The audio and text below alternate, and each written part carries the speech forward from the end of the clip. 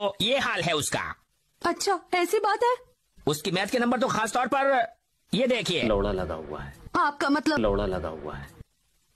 क्या सुनियो यहाँ पर है मिस? अबे हट जाना भोसड़ी के बहर आ गया।